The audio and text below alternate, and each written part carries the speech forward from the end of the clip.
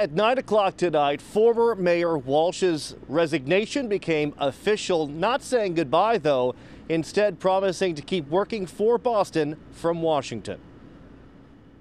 A few minutes ago, uh, the United States Senate voted to confirm my nomination as United States Secretary of Labor.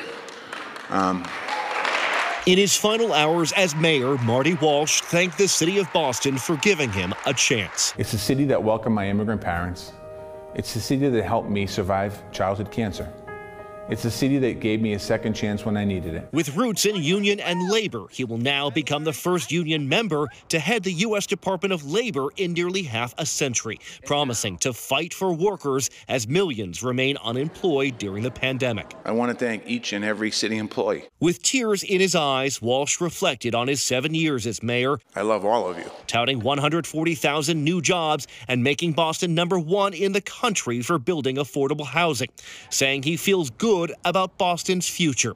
His resignation creating history. City Council President Kim Janey becoming the first woman of color to lead Boston. Think about this for a minute.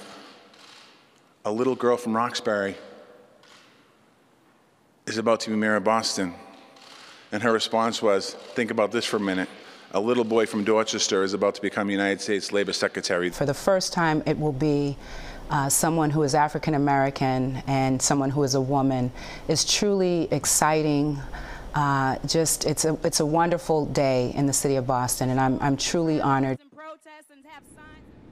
Right now, five people are running for mayor. It's unclear if Janey will run for the office, but Walsh, so far, not endorsing anybody. He heads to D.C. in the morning and will be sworn in in the evening. Live in Boston, Sean Shaiba, WCVB News Center 5.